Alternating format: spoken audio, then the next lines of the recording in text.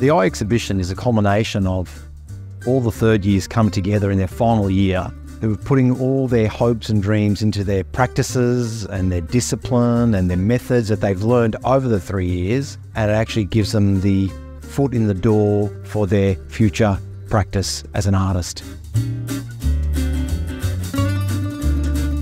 The different works we've got are ranging from 2D and 3D. Students are at the moment working a lot about in ceramics.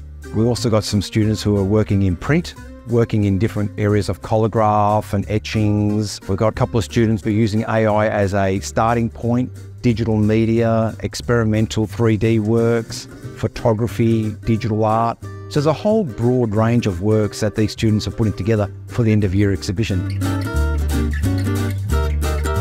It's a pinnacle of their experience, of their Bachelor of Visual Arts for over three years, and it's a wonderful environment to actually showcase their work.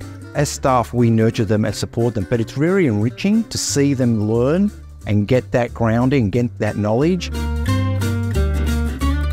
Going to be held at the Post Office Gallery. It's a beautiful space with lighting. There'll be an opening with drinks and food. It's professionally set up by curators and by the students, and it's advertised through the Art Almanac and through the Courier and media coverage. So it gives them a really good grounding of what is to be expected in a professional practice when they leave the university. I would suggest that anyone who's watching this to come and see these students' works and get involved in the arts in Ballarat.